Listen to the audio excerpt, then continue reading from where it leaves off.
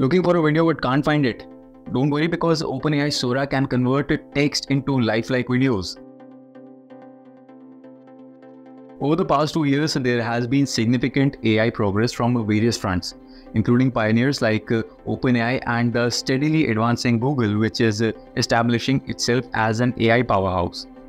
As we step into 2024, tech companies are intensifying their efforts to capitalize on this momentum.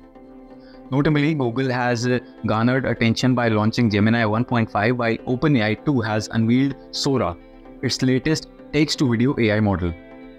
As the name suggests, Sora by OpenAI has the ability to bring text-based prompts to life by crafting lifelike scenes. Sora excels in translating these prompts into detailed and realistic videos as indicated by the information disclosed by the company. Sora can generate videos up to a minute long and maintain visual quality as per the user's prompt. If you visit the landing page for Sora, you can see the myriad results that it has posted.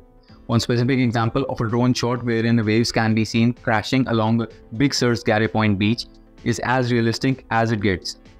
I, for one, can't tell the difference. If you handed me this footage without telling me it was AI made, I wouldn't know. OpenAI claims that Sora can generate complex scenes with multiple characters, specific motions, and accurate detail of the subject and background. The company also claims that the model understands not only what the user has asked for in the prompt, but also how those things exist in the physical world.